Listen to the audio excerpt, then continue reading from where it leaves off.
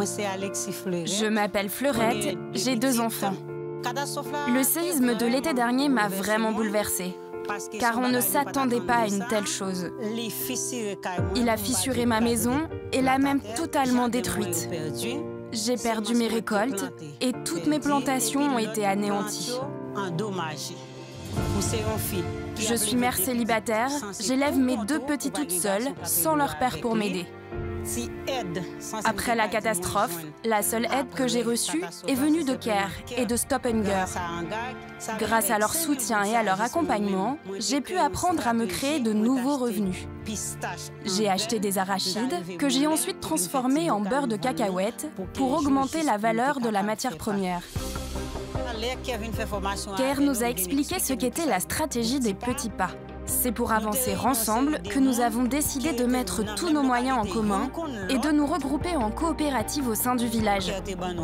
Ils nous ont donné tout le matériel nécessaire et nous ont permis de mettre en place un fonds de solidarité pour nous en sortir. À chaque fois qu'une nouvelle personne décide d'intégrer le groupe, c'est quelque chose de bénéfique qui nous aide, tant sur le plan collectif que sur le plan individuel, pour subvenir à nos besoins.